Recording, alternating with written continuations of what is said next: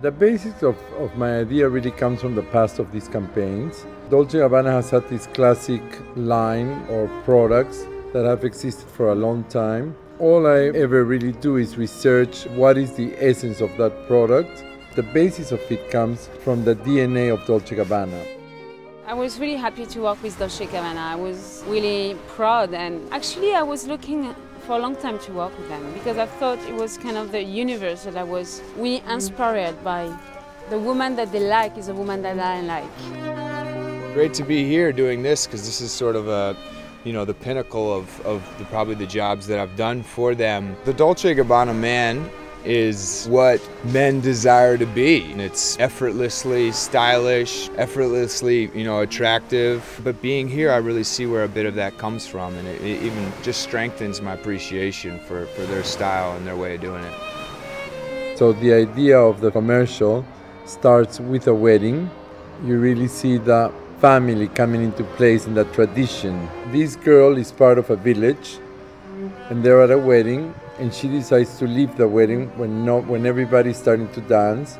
So she's getting away in a very discreet way to go and meet somebody. Now it's not pretty obvious who she's meeting but throughout the film she gets encountered by one of the guys in the village the really good looking guy and they go off onto a beach to a private place to be together it has a lot of essence of film in it, but we're also, you know, selling a product, and I just think that seamlessly meshed together here in, in, a, in a beautiful composition of the place, the heritage, the style, the romance, the passion between two people, and I really hope it comes off what it feels like it has been.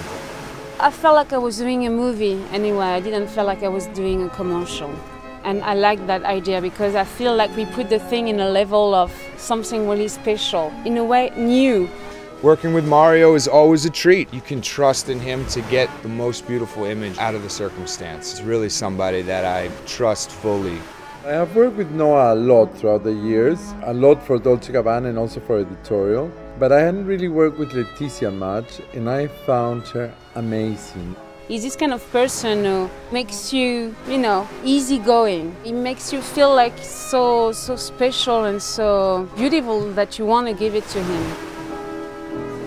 The shoot has been incredible, incredible, the landscape here, and, and the shoot has been a huge production. I mean, just the other morning we had helicopters and we're in this you know, just this amazing location and the, the music, the styling, the, the, the, people. It's a real dose of, of the heritage. It's quite a special place. It's a majestic place. I think it's helpful for, for, for the story that we want to do to work on this island. It was a really good idea.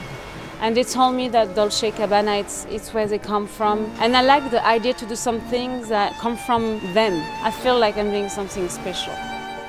Sicily is about the heat to start with, so that I already find so appealing. I am a solar person. I think I like the sun, I like the light, I like the heat. The heat makes people relax, have a good time. And Sicily brings this to you, mixed with a certain mystery, with a certain undercurrent that you don't really see it, but you feel this energy that something is happening